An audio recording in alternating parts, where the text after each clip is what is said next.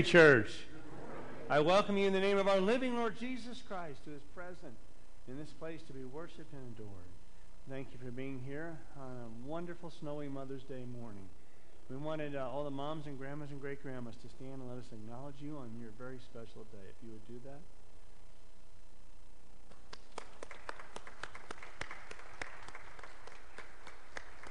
Thank you. Please take the friendship heads on the center and the side aisles. In a moment, we will greet uh, the, the uh, bold warriors who are here this morning. And uh, you know, you never know about Colorado weather, huh? Missionaries of the Week are Jack and Colleen LaPetra with New Life Church, uh, New Life in Christ Church, excuse me, in Lakewood. You can read more about that in the bulletin. And um, the Women of Faith retreat is next week. Good thing it wasn't this weekend.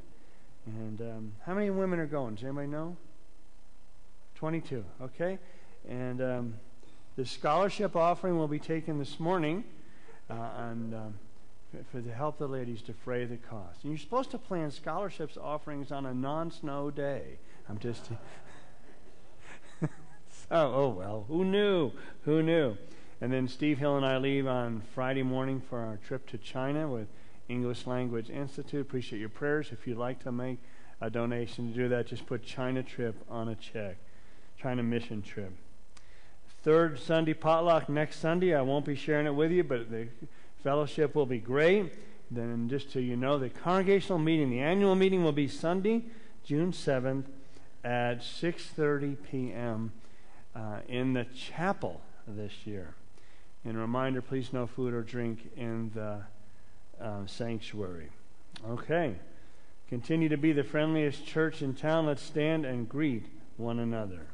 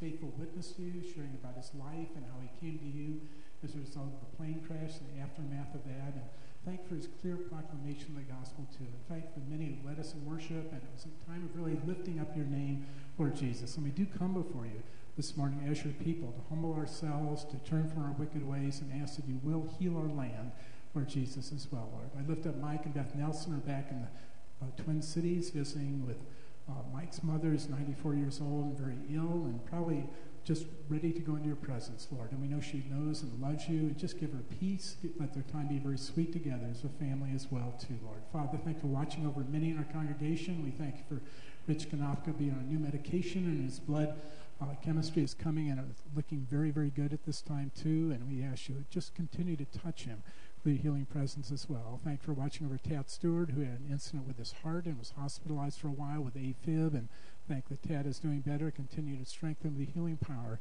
as well too. And Wayne Parker, now as a pacemaker, continue to bless and strengthen with the power of your Holy Spirit as well too. And for Donnie Wise, had an injection. Father, we ask that that will give a release of pain in her back and just be healing and wholeness upon her as well. Keep her safe. We rejoice that Dave Walters' chemo is has finished the long, extensive portion of it, and he's done very, very well. He's battling now the bladder infection, but doing well. And thank for watching over him. And for many others, we'll be having procedures and things at this time too. And uh, watch over and protect them as your choice servants as well, Lord. We thank for wonderful opportunities to gather together as your people. Thank the men who had fellowship yesterday morning for breakfast. We lift up the women who will be heading up on their retreat this next weekend. We ask good, good weather and safety and travel, and just each lady can get there safely to enjoy a wonderful weekend in your presence, Lord, and fellowship with others. Anoint those who be leading the teaching as well, too, Lord Jesus. And we thank you, too, for our growth groups. We thank for our koinonias and the prime timers, the Jeremiah gals, the choir and the circles, and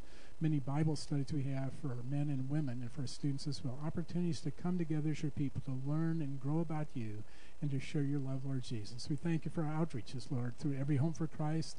Shekinah went to over 60 apartments uh, near Dayton Avenue and 11th Avenue, and they had 10 people pray to receive you, Lord. And we ask so each of those will grow in a knowledge and love for you. And we thank for one man in particular who's a drug addict who uh, really has now been set free from drugs and coming to you, know you, Lord Jesus. We rejoice also through Shekinah through the food ministry. They had four people last week open their hearts to receive you as well. Thank you. They're now in the Opportunity Center, a wonderful place with plenty of room and facilities to minister to people and provide the food that they need as well too, Lord. And Father, we thank you for our wonderful missionaries. We thank you for Jack and Kayleen Petra with New Life in Christ and Lakewood. Continue to anoint and bless them as they reach out in that community. And it's a very heavily Hispanic area, and they're reaching out to many drug addicts. People have been in prison. And thank you, many, many people have been set free from the bondage of addiction and are now loving you very much. Bless their camps as they prepare their day camps for the summer, reach hundreds of children in that area too, and provide graciously for all their needs as well too, Lord. And for Jack and Killian, we ask you to touch them because they each have physical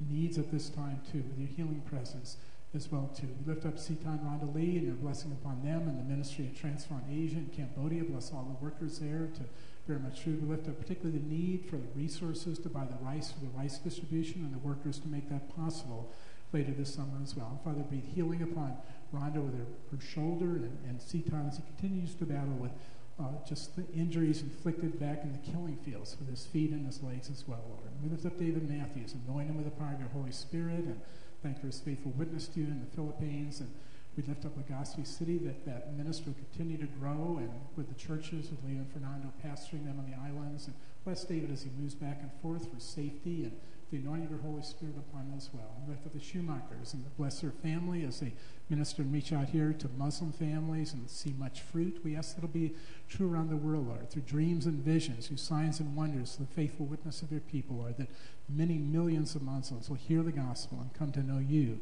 as Savior and Lord. And we lift up those who are Muslims and those are Hindus and Jewish people who need to know you as Messiah as well. Draw them to yourself, Lord Jesus. We lift up the persecuted church, Lord. Many have lost loved ones, many in refugee camps, those are in prison.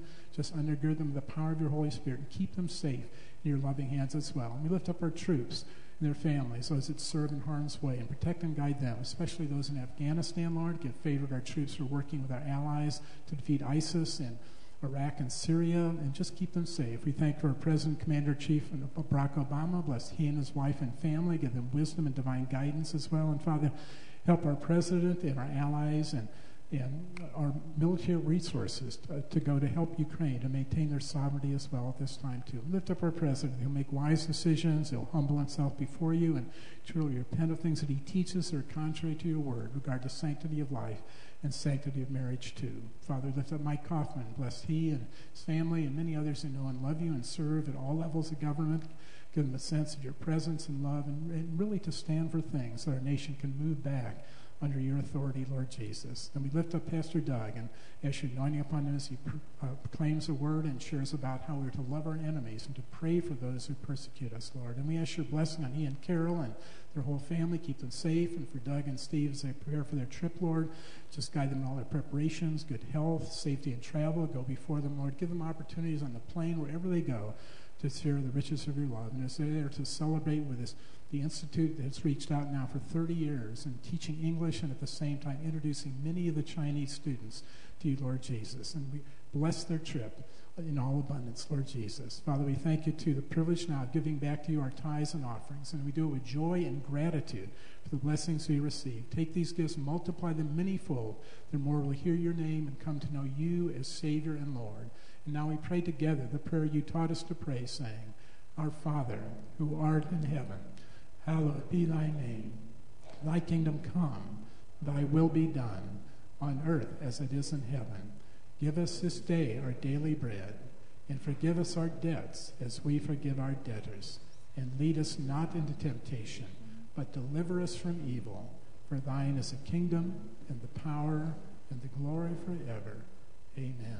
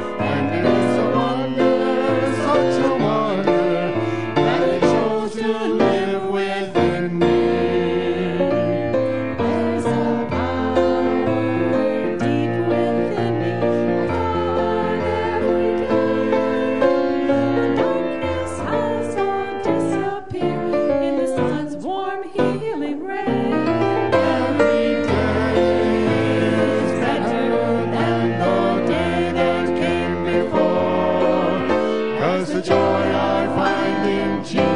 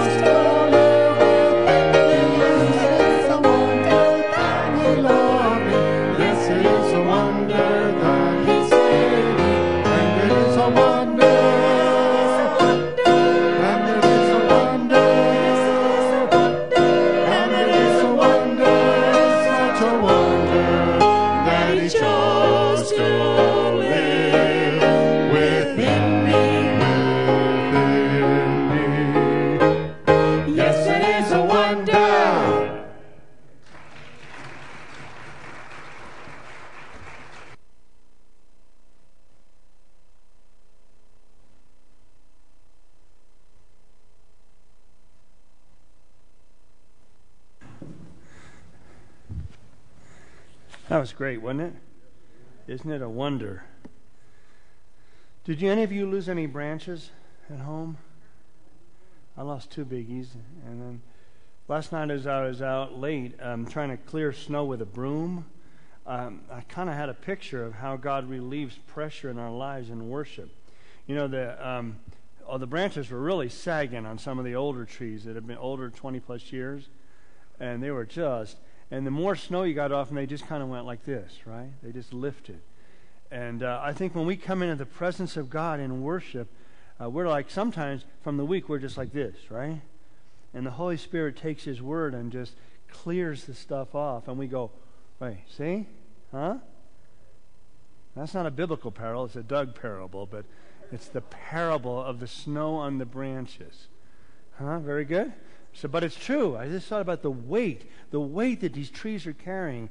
And of course, just like we have broken people in Denver, we have broken branches all over Denver that couldn't weather the storm. All right. Enough of that.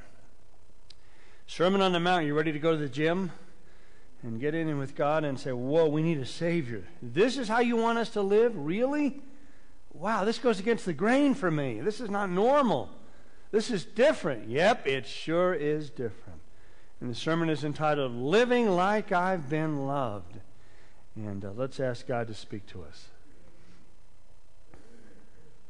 Lord Christ, you are glorious and you are wonderful. You do lift the weight off our branches and you clear the cobwebs off of our mind and you take the guilt and the shame and the sin and you free us. We come out so much lighter in your presence. and we, uh, we worship with a new sense of freedom. And we give our offerings with a new sense of gratitude, not under compulsion, for God loves a cheerful giver. So open our hands and open our hearts and allow us to see Jesus in Him only. Amen.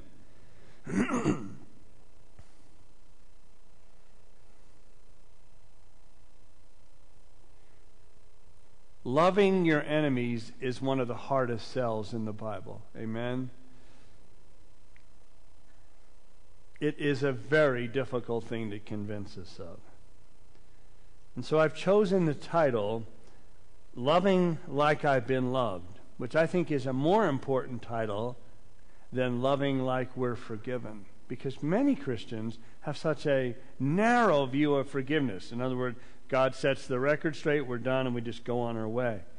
We're not just forgiven, we're loved and chosen in Him to be given the blessings of the kingdom. And that's a different matter.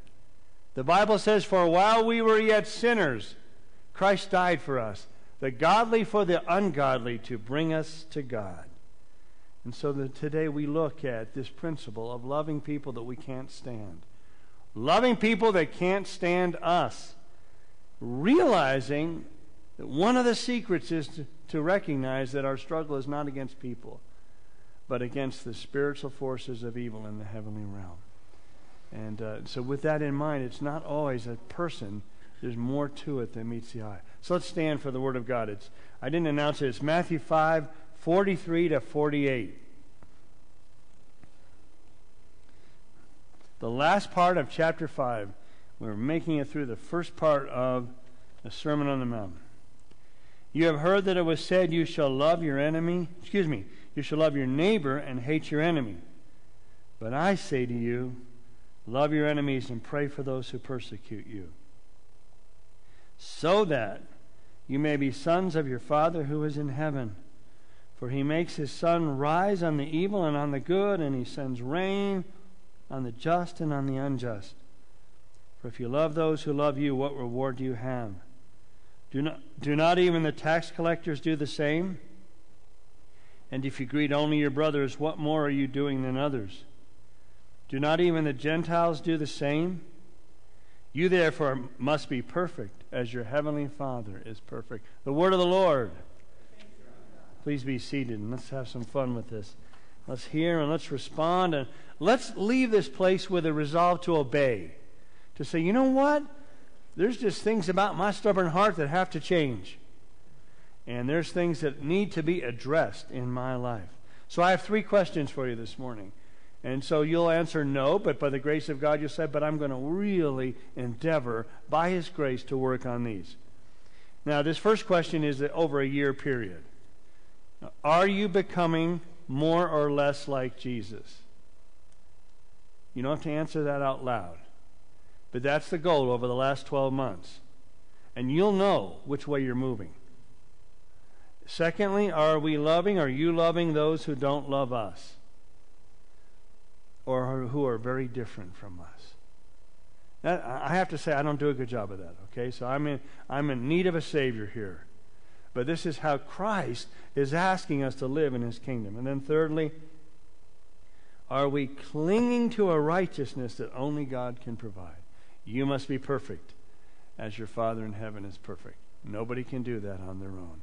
That's the need of the glorious gospel. Are you ready now? Let's go. Number one. Are we becoming more or less like Jesus? Are you growing? Are you growing? Are the branches of your tree growing? Are the leaves sprouting?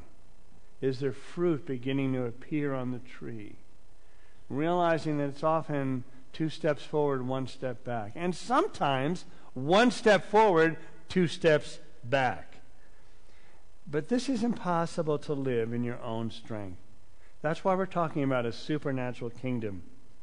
The Old Testament, which was there to put a rein on sin, to limit the spread of sin, you shall love your neighbor and hate your enemy. But I say to you, love your enemies and pray for those who persecute you. And the reason why you do it, so that you may be sons of your Father who is in heaven.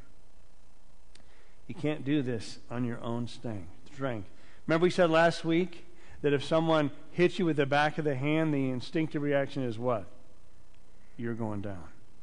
Nobody gives me the back of their hand.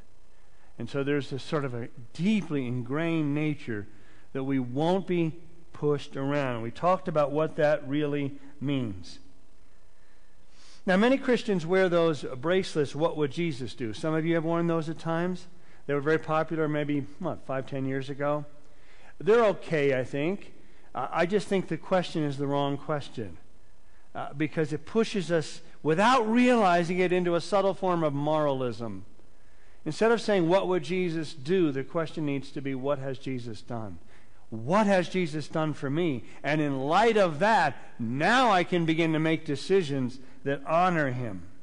Because when I have to love my enemies and those who persecute me, there's nothing within me in the flesh that enables me to do that because I don't like so and so. Everybody has those so and so's in their life. I won't ask for an amen. But the Bible is saying this is what Christ's life looks like in us. We've entered a very different kingdom and come under his reign. And you know the old expression, don't you? Like father, like son? Like two peas of a pod? You know that whole thing? This is what it's saying is the more you grow in your relationship with Jesus, you become more like him. Look what it says in verse 45. So that you may be sons and daughters of your Father who is in heaven. And how does he act? He makes his sun shine on the evil and on the good, and he sends rain on the just and on the unjust. God's common grace provision is what? granted not just to his covenant children, but to all people, simply because he is so gracious. And so the question comes up, doesn't it? Who is our neighbor? That question was asked to Jesus. But before we get to that, we realize that the, the Pharisees had built a system which they thought to be a proper interpretation of the book of Leviticus that dealt with this whole concept of love. Let me read just a little bit of it to you. You may want to jot this down. As you study the text here, you'll see that um, there were some very firmly entrenched notions. Leviticus 19, 17 to 18. You shall not hate your brother in your heart, but you shall reason frankly with your neighbor, lest you incur sin because of him. You shall not take vengeance or bear a grudge against the sons of your own people, but you shall love your neighbor as yourself. I am the Lord. Now, if I were to ask you, how does that compare to the New Testament? What's limiting about that? Do you remember what I just read to you? It says, You shall not bear a grudge against the sons of your own people. So, what the Pharisees did say, That's right. We'll love our own. We'll love, this is this way many American Christians behave.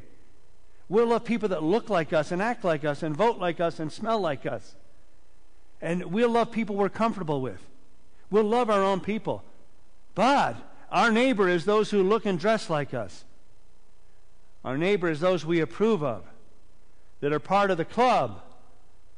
But they overlooked Leviticus 19:34, where it says, "You shall treat the stranger, that's the alien, the refugee, who sojourns with you as the native among you, and you shall love him as yourself." Look at that. That sounds more like Jesus.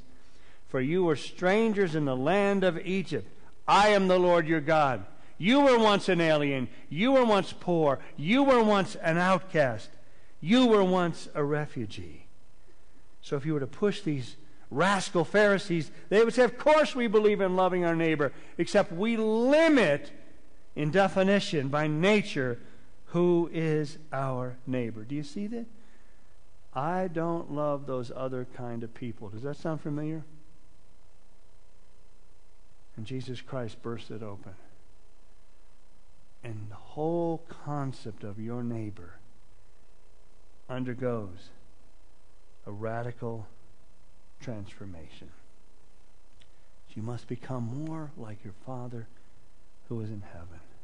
How do you do that? You do it by growing in grace by the Word of God, day in and day out, as Christ is revealed to us. And He shows us how to live and we stop imitating the world and we start imitating the Father, the Son, and the Holy Spirit. Do you see that?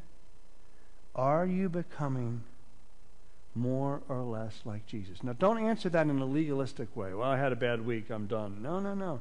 That means you're trusting in your own salvation apart from Christ. But over the long haul, if you are rooted in Jesus Christ, there is such a transformation that is taking place from the inside out that we become and look more like Jesus Christ. Because the Father's work in us is to transform us into the image of Christ. Until what, you say? Until we die. And then we will take on the perfection of our Father without a sinful nature. Isn't that a beautiful thing to look forward to on a snowy Mother's Day? So, the answer is no here. Let's begin to worship Him together because you will. Root yourself in the gospel and recognize the evil one is going to whisper in your ear time and time again, You're no more like Jesus than you were a year ago. You're worse off. And remind you of every one of your sins. But in Christ, we are becoming more like Him. And it goes against the very grain of the old nature. Okay, second principle. Of course, the answer is no to start here, okay? But it doesn't stay no. That's the beauty of the work of God. Are we loving those who don't love us? I don't do as a good a job of that as I should as a pastor. I love people who love me as a pastor. There, I confessed it. And uh, I have to do better at that. And I will do better by the grace of God. You see? For if you love those who love you, what reward do you have? Do not even the tax collectors do the same? You see? And if you greet only your brothers, what more are you doing than others? Do not even the Gentiles do the same? See, the Pharisees had a double standard. They had one type of love for their neighbors, and they defined their people like us. And they had another for their enemies. It's easy to make anybody your enemy. And so Jesus took the principle and blows it up. You notice how he says over again, You have heard it said, but I say unto you. And we go, Oh boy, here we go. But I say unto you. That's the whole Sermon on the Mount. The old covenant said this, and you think that's enough, but I say unto you. There it goes again, again and again and again. Well, you know what Jesus expounded on this, I hope, and we're not going to do a separate sermon other than to allude to it, the parable of the Good Samaritan. That was Christ's answer to the question, Who is my neighbor? It's Luke 10, verse 25. Don't, you don't have to look it up, but I, I assume you know the story, and it's a ridiculously radical story of love because the Jews and the Samaritans didn't like each other. It's like many of the Palestinians and the Jews today. It's just constant friction. But the Samaritans were especially hated by the Jews because they had remained in the land of Samaria after it had been taken by foreigners from Babylon, and they intermarried, and they, they really became a different ethnic group, and they had this huge tension with the Jews. And that's why when Jesus spoke to a woman at the well, he was where? He was in Samaria talking to a woman in public. You see how radical that is? But normally the Jews would go around Samaria. In America, what would that look like? We're not going through that neighborhood. Or, or gang territory. That is not our turf. We can't stand those people, you people. But the Samaritans were considered less than human to the Jews, okay? There was a real racism. So, what does Jesus do when he speaks to us about love and the kingdom of God? He speaks about the Good Samaritan. And this could never have happened that a Samaritan would rescue a Jew. Unthinkable. Oh, so let's go. The road to Jericho, outside of Jerusalem. The priest, representing the priestly uh, office of Israel, pass by on the other side and he wouldn't get involved. Now, there's some practical reasons not to get involved here. One of which the man was still alive, he was bleeding, he, he was well enough to be treated later. And so we know that this incident had just happened. He had been robbed, he had been beaten. And what does that mean? It means the robber's close by. We do the same in our in our situation. We don't want to get too close to a fight at night. How many times do you hear in the news that somebody was mugged or a girl was raped and people just walk by? There is that deep desire for self-preservation. And so the priest walked by and said, Well, concern, I better call 911, but I don't have a cell phone yet. We don't live in that time. And you see, and got to keep moving, got to keep moving. This is a dangerous road from Jerusalem to Jericho. Then the Levite, representing the Levitical priesthood, in worship, he too passed by. On the other side of the road, he might have said a prayer. He might have said, How are you? Bless you. I hope I'll pray for you. Hope you get help. Hope you get hope. Hope you can make it. But then a Samaritan comes by.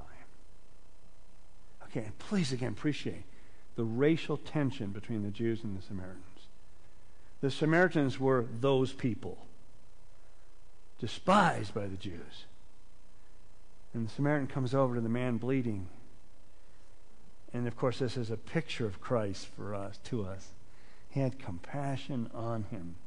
And he went to him and he bandaged his wounds. And he took the oil that he had with him and he treated those wounds. And he put him on his animal. He picked him up and he risked his own safety. And he put him on his animal. And he took him to an inn. When he got there, he said to the innkeeper, Here's two denarii, two days' wages, not only to cover his stay, but to cover his treatment, to make sure he's all right, and to intervene. And uh, and Jesus said, "What? That is what who your neighbor is." You know what else he said? You go and do likewise. Oh, no. I'm going to be I'm in a hurry. I got appointments. I got to get to Faith Church. I see you guys. There's a guy there, but I got to get to Faith Church. He said that is a picture of love. And by the way, the parable of the Good Samaritan, we'll, we'll do it again sometime, is a picture of the radical love of God in Jesus Christ. Because Jesus Christ was what? Ceremonially unclean. He was cast out into the city garbage dump. He was, he was despised. He became wretched. And he took on our sins in a horrible way, in a horrible place. And he became a Samaritan to the supposed religious people who desperately need a Savior. He, came, he comes to us, he picks us up out of our sin, and he pays the price for our salvation, and he bandages our wounds, and he sets us free. Do you see that? And he says, You become those same kind of people. Now, for the rest of our life, we will struggle with this text because the old nature says, I don't like people that don't like me. I don't like people that step on my big toe. I don't like people who insult me. Every one of us feels that way. But Jesus Christ says, You have to realize that if I live inside you and I indwell you, you will become more like me. My spirit will push you to love those who don't love you and who are different from you. I've been encouraging you to come on Friday nights to do the um, concert of prayer with Living Hope on the last Friday, and it's been the toughest sell I've had since I've been a pastor. Uh, the toughest of all. You mostly, it's everything goes well, but this is a tough one. And I'm so committed to being, bringing people together who look different, act different, preach different, vote different, and yet we begin to see our neighbors in a new context. So just that's not a political adv- advertisement but to see Faith Church, the importance of getting out of our box. Now, if you look at our building, and thank you, every time I see all the renovation going on around here, I thank God for you and your commitment to making this a place for all kinds of people. And if you want to know one of the reasons why our building has been run down, it's first of all, we've been tight on our budget for many years, but God has always provided. But secondly, we just house a lot of different kinds of people. I don't say that with pride. I say that as a kingdom opportunity, a refugee church. And, and the building just gets beat down. But I ask you, as members of Faith Church, how do you want to be known? How do you want to be known? As a church who includes people and calls them neighbor and friend and who welcomes them into the body of Christ. Dare I ask for an amen? Ah, that was a mild one.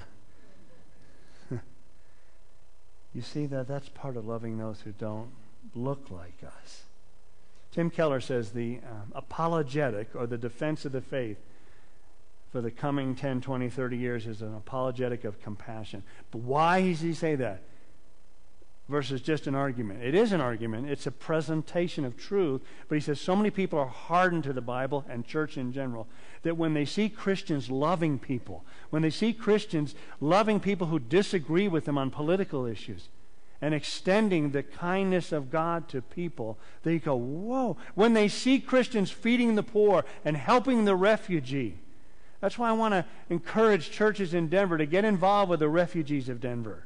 Don't turn your back. That's the heart of God. But when the secular people see that, they have a, this a softening of the heart because it's none other than the love of God in Jesus Christ. Are we loving those who don't love? You know, one of the things I would say to you after being here a long time is that we are learning to love each other. And some of you have loved me even when you haven't liked me. Yeah, think about that. I meant that. I'm not going to name names. Some of you have loved me even when you haven't liked me because you understand the importance of the body of Christ. And then after, you never know, you might like me. You see, but there's something about obeying Christ in this area. So, all right, we need a Savior right now. We're not doing good at this, but he, we're going to continue to change. Are we loving those who don't love us? We're going to do better because Christ will continue to work in us. Thirdly and finally, are we clinging to a righteousness that only God can provide? That's the beauty of the gospel. Now, if you read this text from any other perspective than that, you will become a moralist and you'll be beaten down and you'll leave church so fast. And it says in verse 48, You therefore must be perfect as your heavenly Father is perfect. Oh boy, talk about discouragement. That's like saying you got to shoot five under par every time you go out. Throw the clubs away. Right? I mean, that's ridiculous.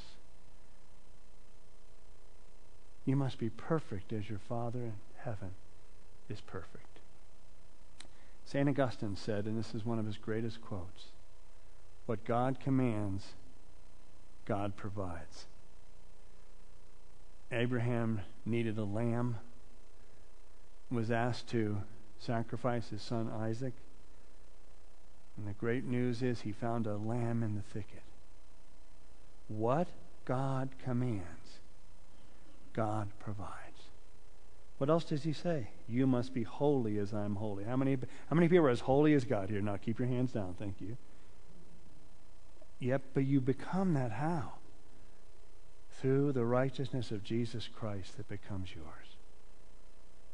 What God commands, God provides. Now, it also speaks in Scripture about perfect love casts out all fear. And God's love is perfect. His love towards us is when we were sinners, Christ died for us, the godly for the ungodly, to bring us to God. And He loves us in our defilement, in our estrangement, in our filth, in our rebellion. And it's a perfect love that drives out my sin and cleanses me.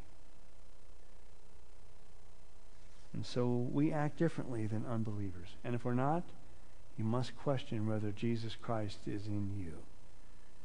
We act differently because our Savior is so different. As a matter of fact, He is holy.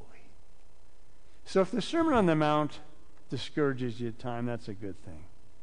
Because it's really a call to God's gymnasium. Come on. He's saying, Wake up, Faith Church. Wake up. You've only got a few years in this earth. However many that is. Wake up and see the beautiful power of the kingdom. And he says, when you're overwhelmed and you say, I just can't love this person. I just can't do this. This is too hard. And by the way, you don't want to only read the Sermon on the Mount. Get into the Psalms too, well, and right next to it. But when you feel like you can't do well, you hear Jesus say to you, Come unto me, all of you that are heavy laden and burdened, and I will give you my rest, and I will give you my peace. For my yoke is easy, and my yoke is light. Do you see that? My burden is light. And he says to us, even when you guys were enemies of the cross, I loved you with a powerful love that set you free.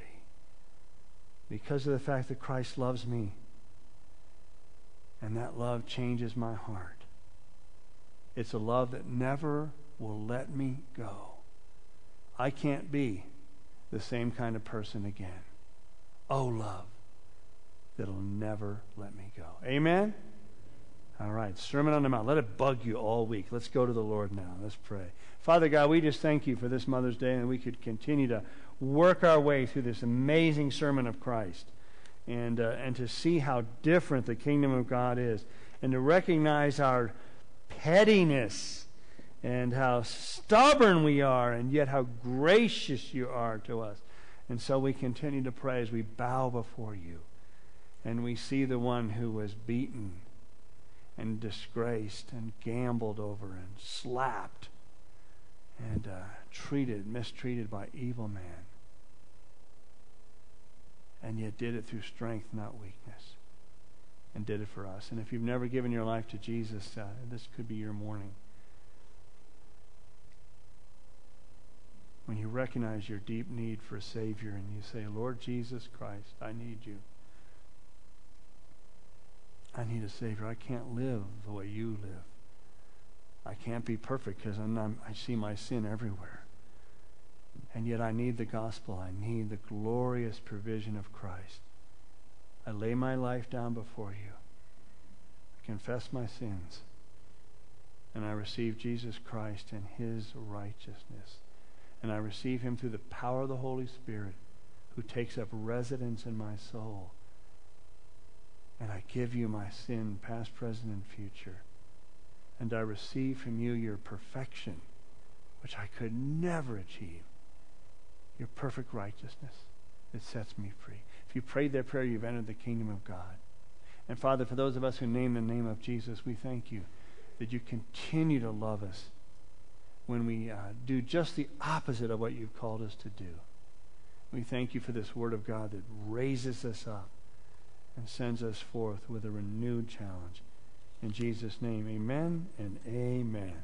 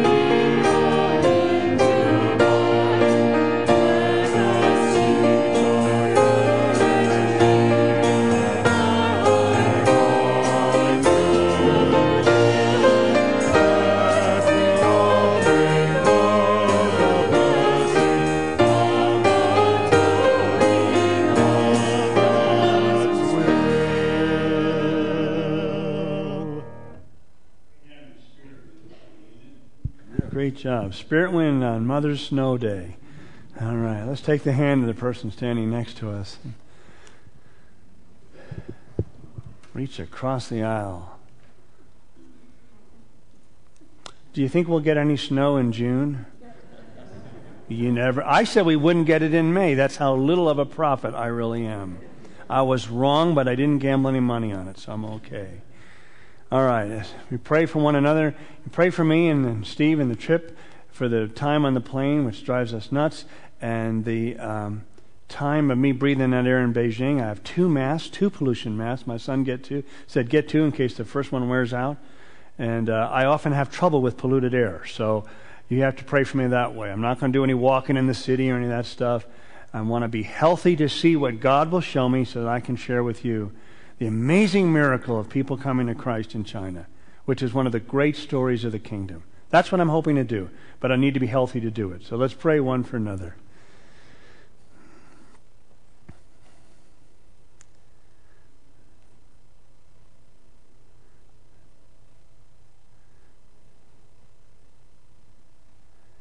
The Lord bless you and keep you. The Lord make his face to shine on you. The Lord lift up the light of his countenance on you and be gracious unto you. And the Lord pour out his love into your heart and on you, that you would amaze yourself by loving those who are very unloving, and that they would see the love of Christ now and forevermore. Amen and amen.